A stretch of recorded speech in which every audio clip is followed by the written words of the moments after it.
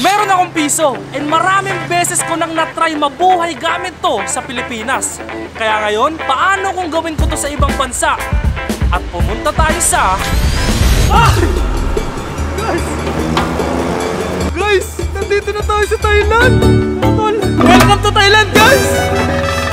Kilala si Adam Alejo sa isa sa pinakamagaling na content creator dito sa Pilipinas at isa tayo sa tagahanga ron. At sino ang mag-aakala na isang ang Adam Alejo ay mag-reply sa ating comment? At hindi lang siya basta reply, makakatanggap pa tayo ng regalo. Piso na gamit natin dito, syempre, piso na ng Thailand do. And yung piso ng Thailand dito, pag kinonvert natin sa piso, 1.55. Grabe guys, hindi lang ako makapaniwala na nandito tayo ngayon sa Thailand. Kumbaga pre, masasabi ko talaga na ang layo na kung saan tayo dinala ng piso. And maraming maraming salamat kung nandun ka sa umpisa ng piso sa Pilipinas and nandito ka pa rin ngayon sa piso sa Thailand. Thank you and I think eto na yung parang spoiler alert kung saan pwede mapunta yung baga pwedeng piso sa US, piso sa buong mundo. Sa karanasan ko sa pagsusurvive sa Pilipinas dahil ilang beses na nating ginawa to ay meron ng mga iilang nakakakilala sa atin kaya mas dumadali na tong gawin.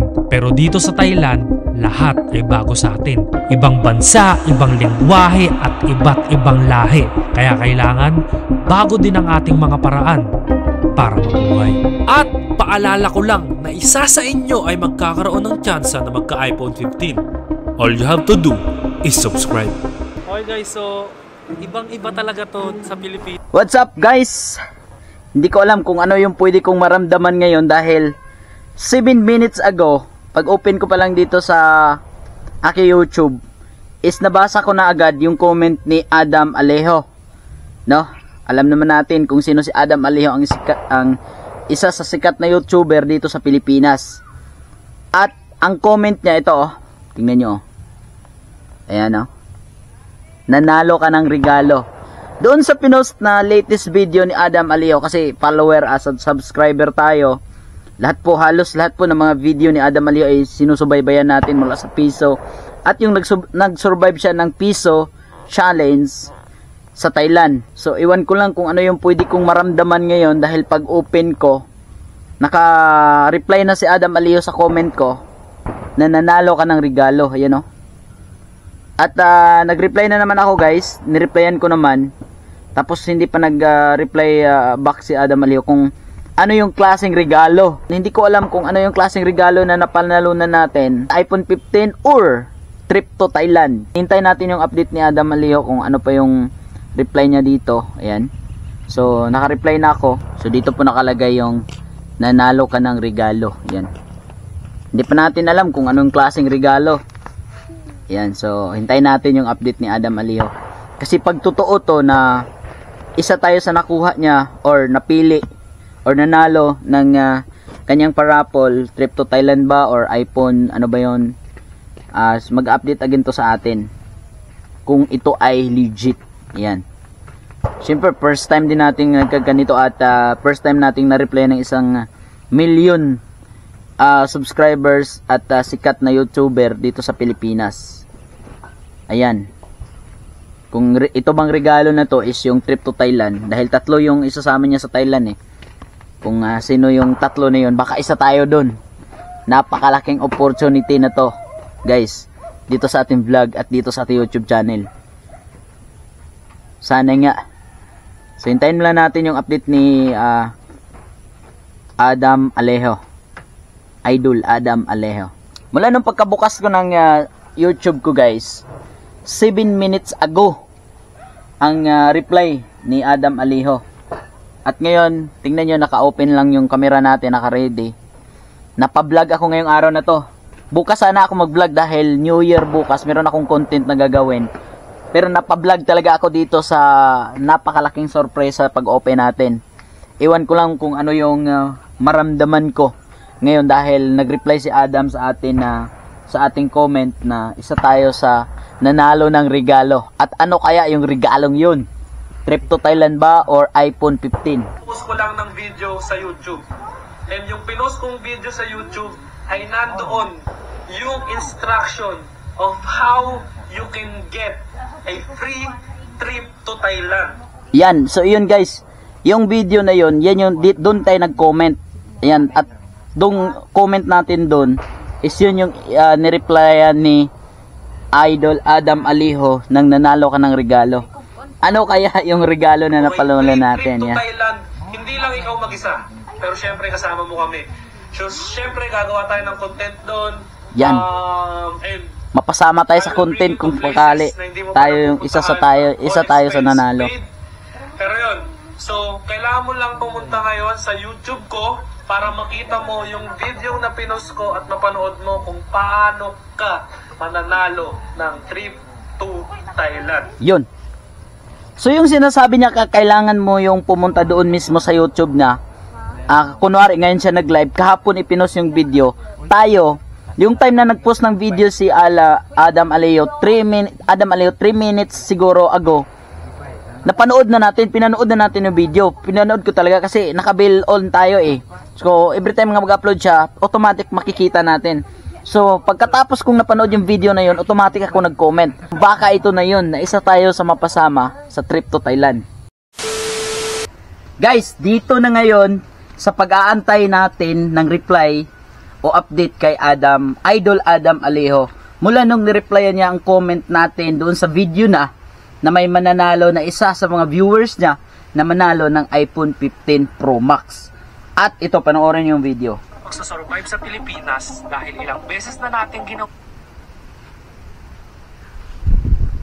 Ito yung video guys. ay meron ng mga iilang nakakilala sa atin. Kaya mas dumadali na tong gawin.